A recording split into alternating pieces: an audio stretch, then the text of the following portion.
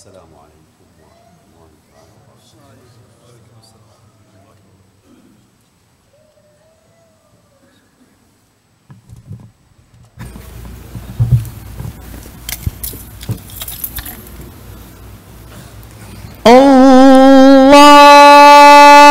الله أكبر الله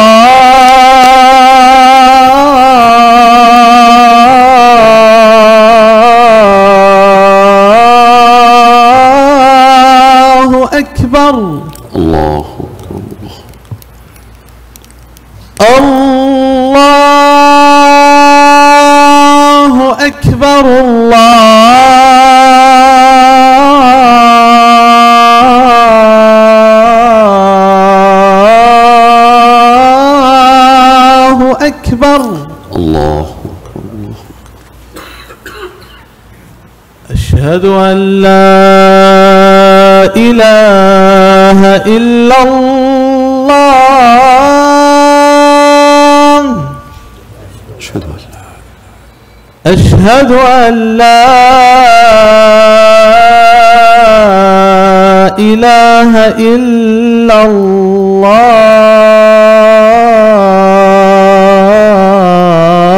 الله.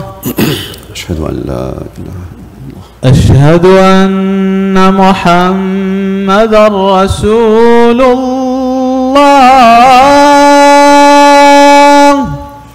أشهد أن محمد رسول أشهد أن محمدا رسول الله.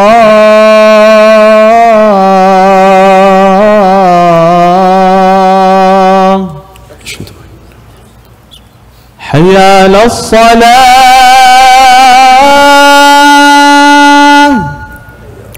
لا حول ولا قوة. حي على الصلاة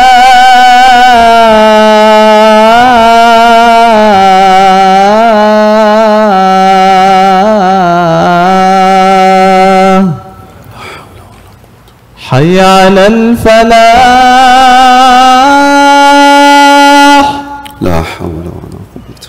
حي على الفلاح.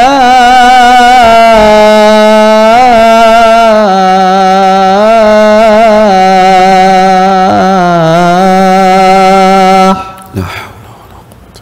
الله أكبر الله أكبر. الله أكبر. لا إله إلا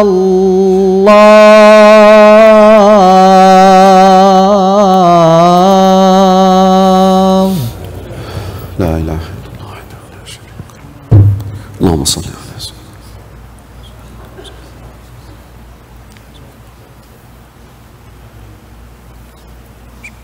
اللهم رب هذه الدعوة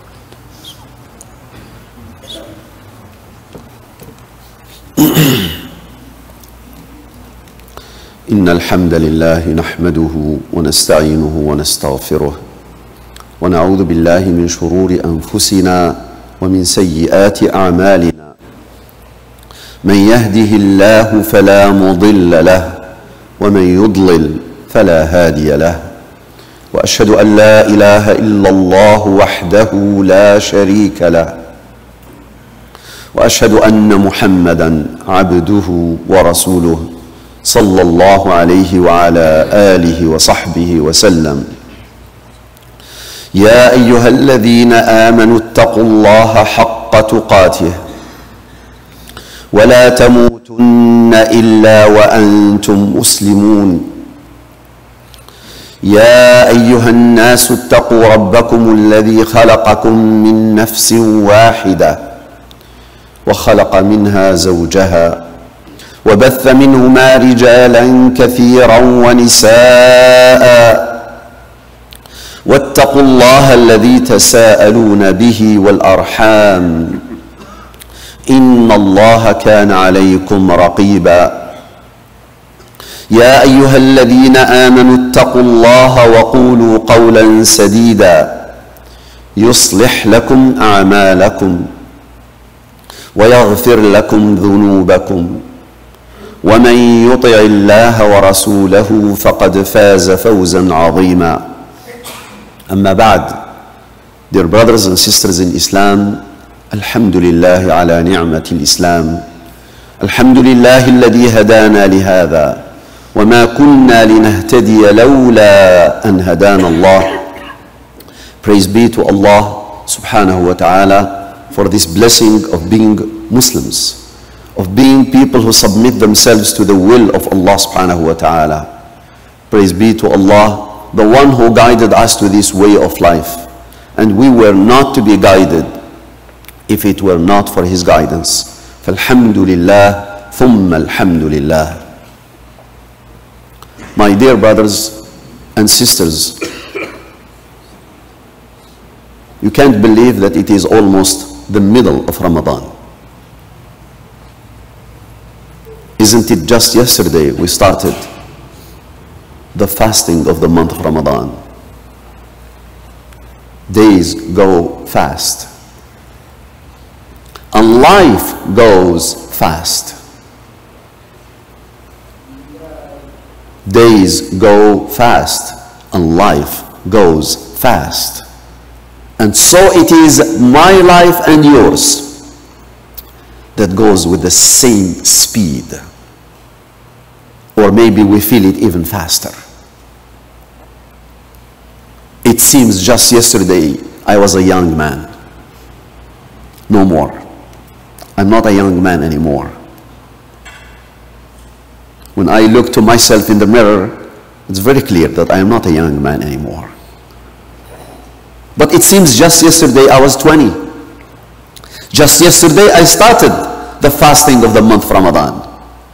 And I'm sure if every one of us takes time, you would feel the same thing.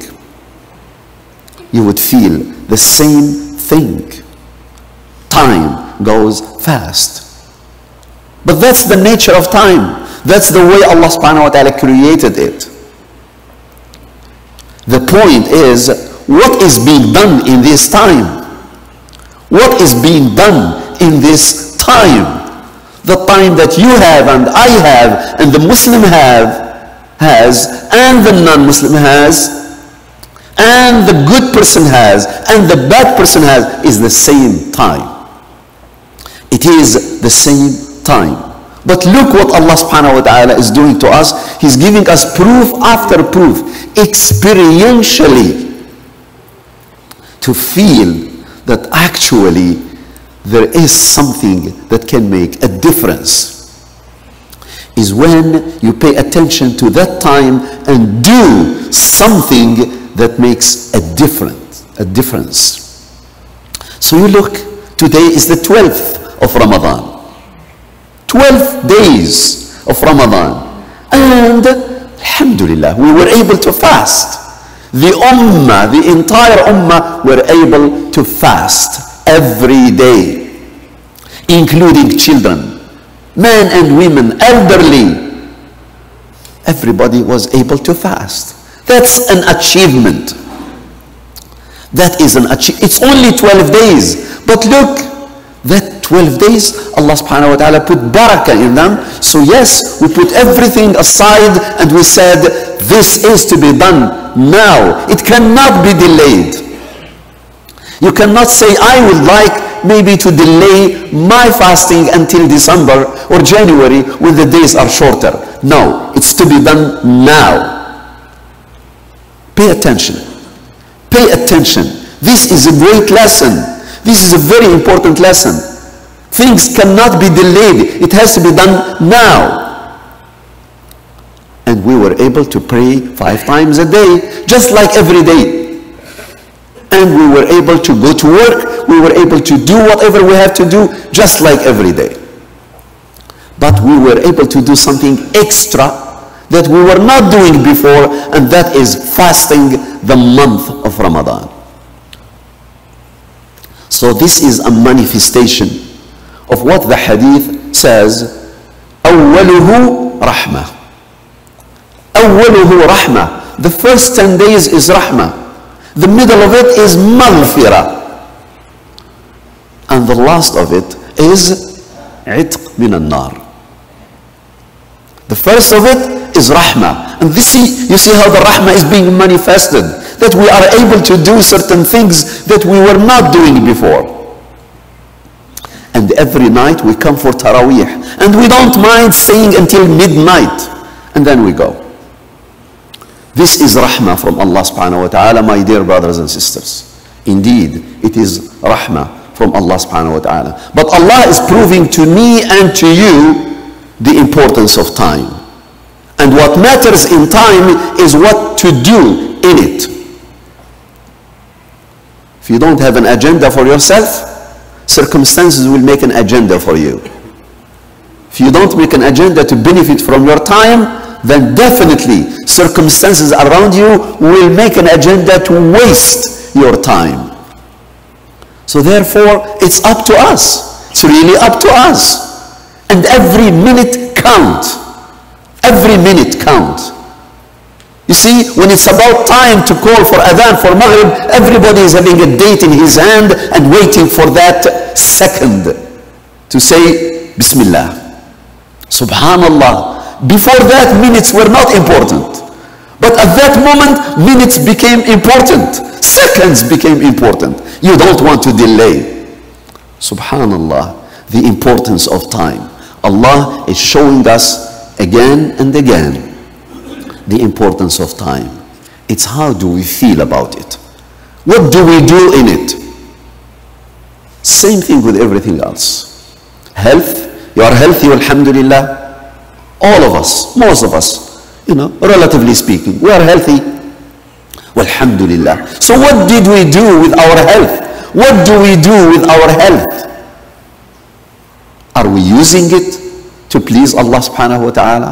Are we using it to achieve things that are beneficial to me, to my family, to my community, and to everybody else around me?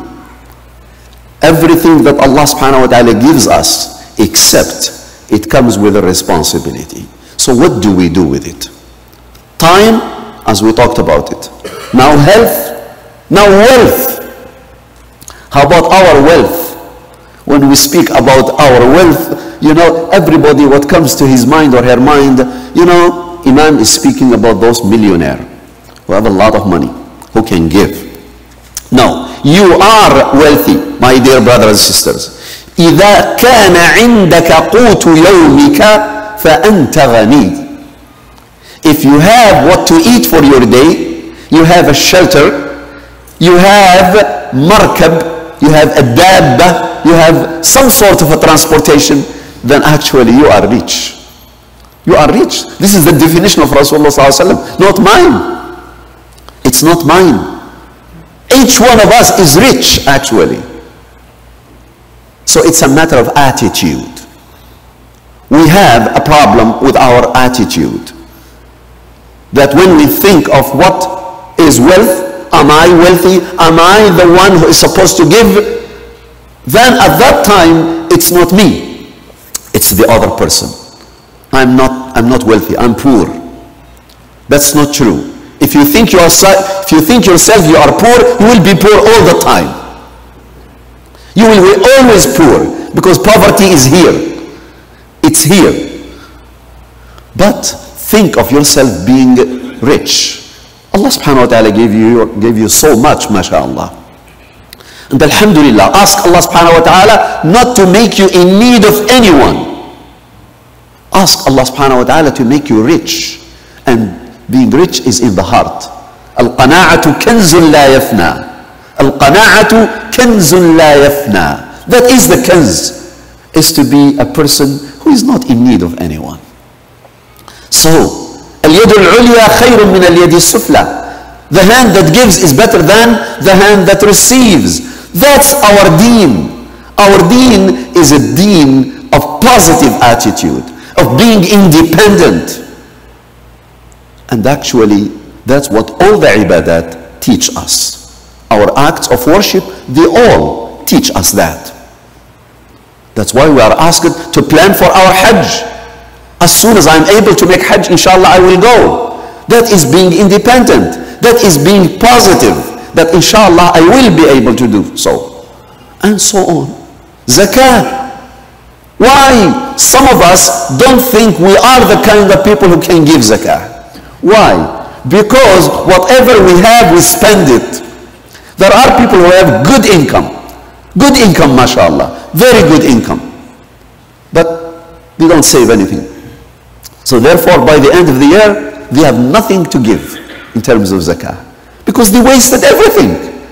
Every day they are eating in restaurants, they are traveling around, they are enjoying themselves, you know, mashallah, having fancy furniture, fancy houses, fancy cars, and by the end of the year, there is nothing left to give zakah. My dear brothers and sisters, those people who are like that, we have to be careful. We have to be careful because we will answer to Allah subhanahu wa ta'ala. Everything that Allah gives us, there is haqq in it. There is haqq in it. There is right in it. للسائل والمحروم. to those who ask and they are in need, and to those who don't have. Because Allah subhanahu wa ta'ala created everything that human beings and creation needs. And whenever someone goes hungry, it's because someone else ate more than he should be. That is the rule. So if there are some people in the world today who are very hungry, who are really suffering, it's because we took too much. So let's be responsible. And let's look at it as an opportunity for ajr, for reward. And this is the month to do business with Allah subhanahu wa ta'ala. This is the month to do business with Allah subhanahu wa ta'ala. So today, my dear brothers and sisters, I'm sharing this with you just to open the door for another opportunity. Before we spoke about reading the Quran, alhamdulillah, it is so beautiful. We cannot do without it. We cannot think of Ramadan without thinking of the Quran. But today we are opening another opportunity where actually sadaqah. Sadaqah is very important. Contribution is very important. And for many reasons. For many, many reasons. Why that charity, why that sadaqah, why that contribution is very important. Inshallah, in the next khutbah, hopefully we shall explore more. We pray to Allah subhanahu wa ta'ala that He will open our minds and our hearts to see the importance of time, the importance of ibadah, the importance of Ramadan, and hopefully Allah subhanahu wa ta'ala will open our minds and heart also to see the importance of participating and giving for the sake of Allah subhanahu wa ta'ala. أقول قولي هذا وأستغفر الله لي ولكم من كل ذنب فاستغفروه إنه هو الغفور الرحيم. ولا حول ولا قوة إلا بالله العلي العظيم. استغفر الله العظيم. استغفر الله العظيم.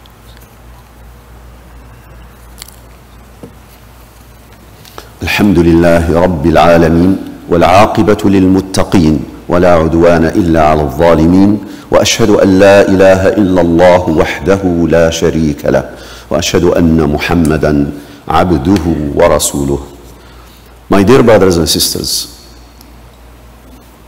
Rasulullah sallallahu alayhi wasallam the generous man You talk about generosity and there is no one who can come even closer to Rasulullah sallallahu alayhi wasallam the generous man and he was generous all the time all the time there was not a time where Rasulullah was asked for something and he did not give. And when he has nothing to give, like it happened few times, he had nothing to give. Can you imagine? He had nothing to give. So he said to the man, Ibta' alayya and I will pay. Wa ana adfa'. He said, go to the market, buy whatever you need and put it on me. I will take care of it. When my share comes, then I will go and take care of it. Subhanallah. The generous man. And he used to be more generous when? In the month of Ramadan.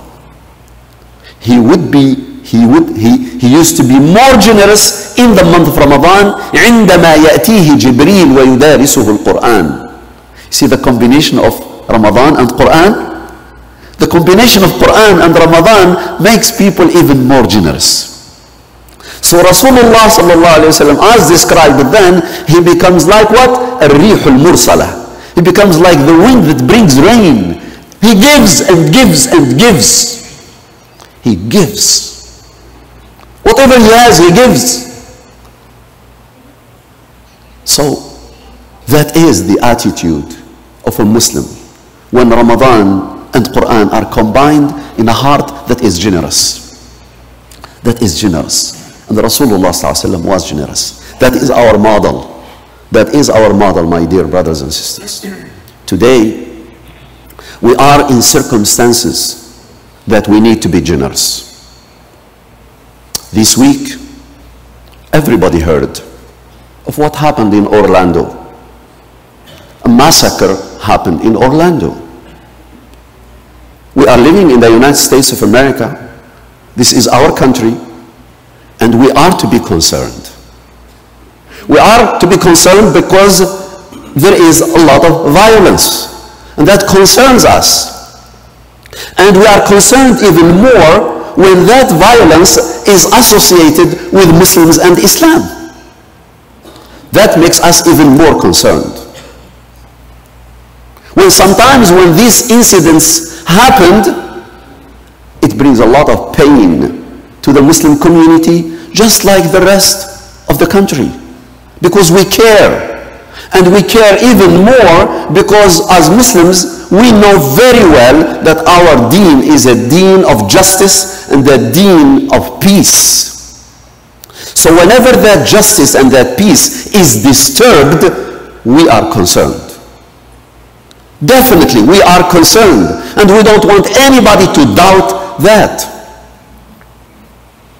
So we are deeply concerned, and we feel the pain that everybody else felt.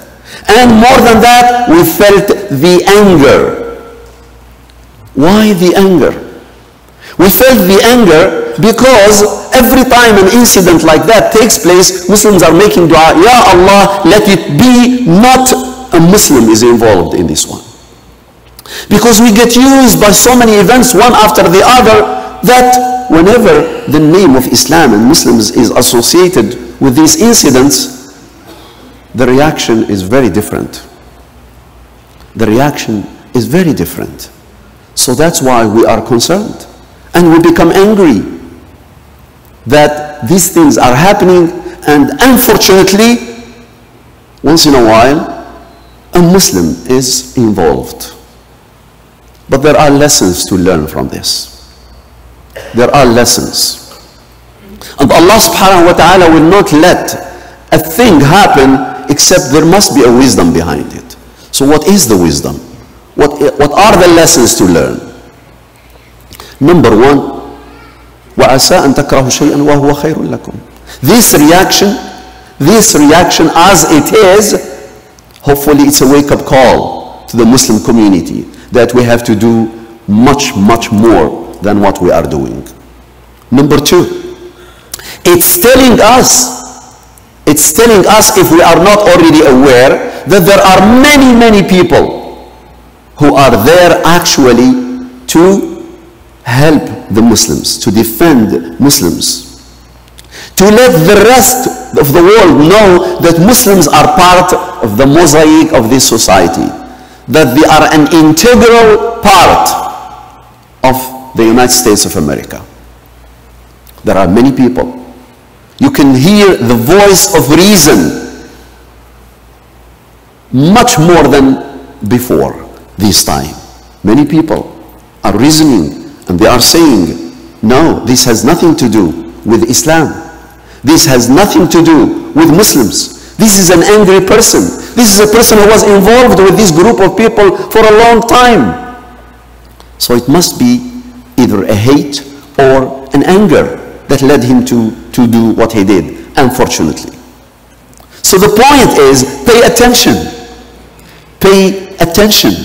So that, you know, that kind of attitude that they hate us, there are many people who are there in many gatherings who are actually defending Muslims and telling that Islam and Muslims has nothing to do with this. And that tells us that we have a lot of work to do. To reach out to the rest of the people, to make da'wah the proper way, to let people know what is Islam and who are the Muslims. In some encounters, we don't know even the neighbors. We are not even in touch with the institutions around us. We have to do more.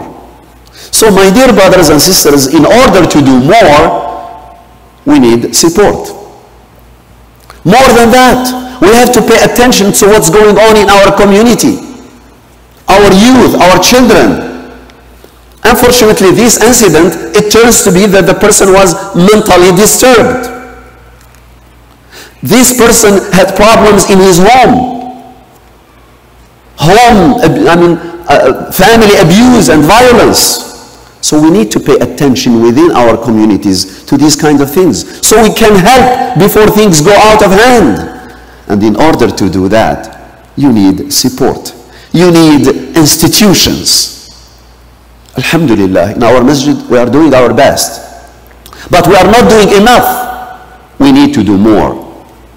Alhamdulillah, when you come to the masjid and you see these children lining up behind the teachers of Quran, and you see the masjid very active people would like every day after Asr, there is a large group of girls and boys who are learning Quran. You feel so happy. A picture that makes you happy. You would like every masjid to be like that. You would like not only the days of Ramadan, but the entire days of the year. MashaAllah, active like that. That's what you want. You want your children to learn Quran, to memorize Quran, to learn their deen. You, you like fathers and mothers coming with their children every day to the masjid to learn their deen and be involved. That is something that you wish every institution is like that. But in order to do that, you need support. So therefore, my dear brothers and sisters, today, after Salah, right after Salah, we are going to take 10 minutes. And hopefully, inshallah, we are going to limit ourselves to that time to ask you for support for the community, for the masjid. I pray to Allah subhanahu wa ta'ala that He will use us in that which is pleasing to Him. We ask Allah subhanahu wa ta'ala to use us in that which is pleasing to Him. As these things are happening, many, many things are happening in the world. And Muslims, unfortunately, most of the time or all the time are the victims. So we need to keep that in mind, especially during this month. So we have to do our share by learning, contributing, and getting involved in the right way. By preparing the next generation to be always ahead in whatever they do, whether it's their schooling, their studies, their contribution, their volunteering, everything they do, they should be ahead. But they cannot be ahead without being good Muslims. And the best places to learn that is here, in the masjid, here, in the house of Allah subhanahu wa ta'ala, where we need to learn. So hopefully we will be a good image for people who would like to know about Islam because we have no doubt that Islam is beautiful. If there is any criticism to Islam, it's not to Islam, it's to the Muslims. It's us. It is us that need to be changed, that need to do better, that need to look back to ourselves and do better. And this is the opportunity of Ramadan. This is a beautiful month where we can, inshallah, do our best to change ourselves to that which is better. إن الله وملائكته يصلون على النبي يا أيها الذين آمنوا صلوا عليه وسلموا تسليما اللهم صل على محمد وعلى آل محمد كما صليت على إبراهيم وعلى آل إبراهيم وبارك على محمد وعلى آل محمد. كما باركت على إبراهيم وعلى آل إبراهيم في العالمين إنك حميد مجيد.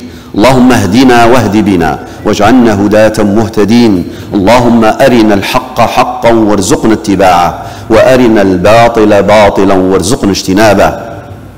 اللهم انصر الإسلام وأعز المسلمين. اللهم انصر الإسلام وأعز المسلمين. اللهم انصر الإسلام وأعز المسلمين. ربنا ظلمنا أنفسنا وإن لم تغفر لنا وترحمنا لنكونن من الخاسرين. ربنا آتنا في الدنيا حسنة وفي الآخرة حسنة وقنا عذاب النار. آمين. ثم آمين. وآخر دعوانا أن الحمد لله رب العالمين. عباد الله إن الله يأمر بالعدل والإحسان وإيتاء ذي القربى وينهى عن الفحشاء والمنكر والبغي يعظكم لعلكم تذكرون. اذكروا الله يذكركم واستغفروه يغفر لكم فيا فوز المستغفرين وأقم الصلاة.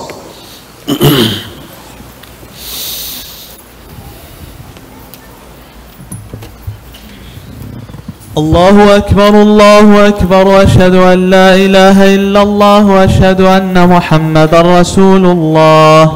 حي على الصلاة حي على الفلاح. قد قامت الصلاة قد قامت الصلاة. الله أكبر الله أكبر. لا إله إلا الله. لا إله استقيموا واعتدلوا يرحمكم الله Do your best to have straight lines and fill in the gaps. And please, my dear brothers and sisters, don't forget to make dua for yourselves, your brothers and sisters, and for all those who are in need of your dua.